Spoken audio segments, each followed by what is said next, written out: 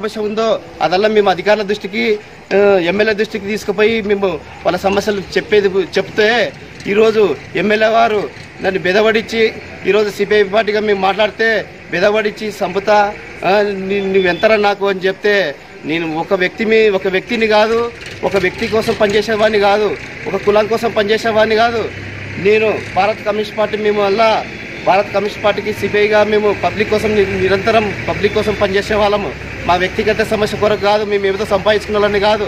Public కోసం పనిచేయనికే మేము MLA గారిని నిలదీస్తే ఎమ్మెల్యే గారు చేతగాక ఎమ్మెల్యే గారు జీర్ణించలేకపోకు జీర్ణించలేకుండా జీర్ణించకలేకుండా ఈరోజు పెద్దబాబా నన్ను నన్ను ఈరోజు నిన్ను చంపుతారా నిన్ను చీల్స్తారా నువ్వు ఎంత బాయిల కప్ప అని చెప్పి నన్ను ఈరోజు మధ్యాహ్నము ఈరోజు తొమ్మిదో తారీఖు నాడు నాడు తహసీల్ ఆఫీస్లో మాట్లాడినాడు.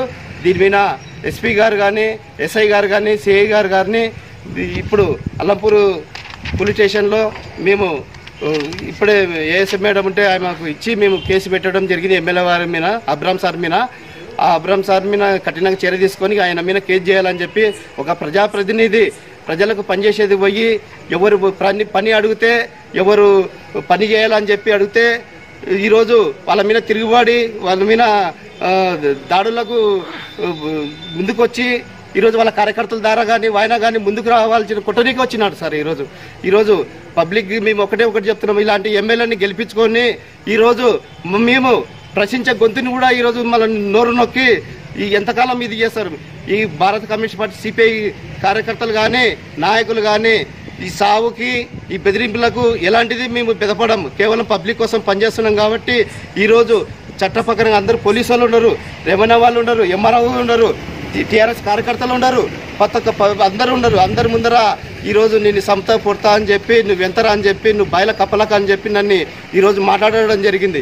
మేము సిపిఐ పార్టీగా ఈరోజు మండల కార్యదర్శిగా ఈరోజు మేము అబ్రామ్ సార్ గారి మీద ఎమ్మెల్యే అబ్రామ్ సార్ గారి మీద కేసు పెట్టి ఆయనని కఠినంగా కేసు ఆయన మీద బనాయించాలని చెప్పి సిపిఐ పార్టీగా సిపిఐ మండల బాధ్యునిగా నేను డిమాండ్ చేస్తూ ఈ మన ఎస్పీ గారు కానీ సిఐ గారిని ఎస్ఐ గారిని మేము ఒకటే ఒకటి కోరుతున్నాము.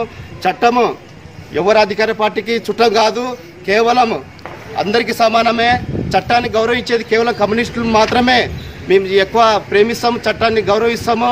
మూడు సింబాలు అక్కడ ఉన్న మూడు సింబాలు ఎటనో కమ్యూనిస్ట్ పార్టీ నాయకులు కూడా ఆ విధంగా క్యారెక్టర్ ఆ విధంగా ఈరోజు జీవిస్తాము అలాంటి ప్రశ్నించే గొంతుని ఈరోజు ఎమ్మెల్యే పని చేయకుండా చేతగాని ఎమ్మెల్యే పని చేయకుండా ఈరోజు కుటనిక మినిమినికి వచ్చినాడు ఈరోజు అల్లంపూర్ ఎమ్మెల్యే అబ్రామ్ సార్ గారు. అధికారులు అక్కడ ఉన్న టీఆర్ఎస్ నాయకులు కూడా దీన్ని చూసి సిగ్గు తెచ్చుకున్నాళ్ళలో ఈ ప్రజల్లోకి వెళ్ళి మళ్ళాసారి పోతామా పోమా అని చెప్పి ప్రజలే బుద్ధి చెప్తారు.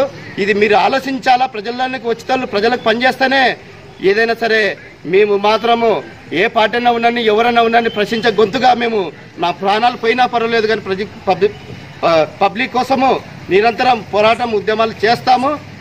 లాల్ సలాం.